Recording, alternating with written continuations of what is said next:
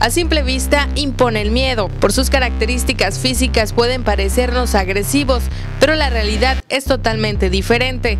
Es el pitbull una raza que ha sido estigmatizada. No tiene nada que ver con agresividad este, hacia los humanos.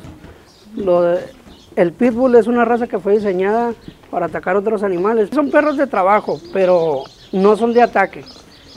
Estos perros no es como el Rottweiler, como el pastor alemán, este, el belga. Puede considerarse una raza que es cara. Su costo puede ir desde los 300 dólares y puede dispararse hasta los 2000.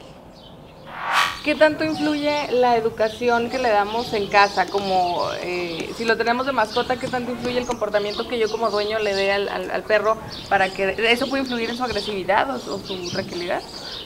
Pues yo lo que te puedo decir y lo que le he dicho a todo el mundo que los perros son como los niños. La educación que le des al perro es, la, es, como se va a formar y el carácter que, con el que va a crecer. Si lo dejas que ande todo el tiempo para, para arriba y para abajo en la calle y que no lo eduques a, a estar con otras personas o con, con, otros animales, es cuando son agresivos. Pero si no, pueden ser los mejores compañeros. Bien, ¿este perro que tenemos aquí cómo se llama? Gizmo. Gizmo. ¿Es un cachorro? Es un cachorro. ¿Cuánto, ¿Qué edad tiene? Siete meses.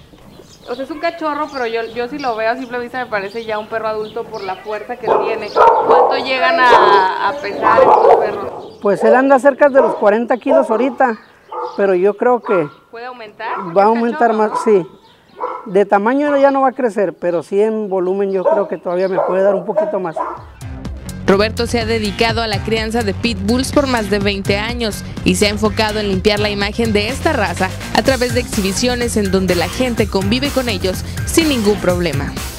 Con imágenes de Carlos Méndez, Erika Gallego, Azteca Noticias.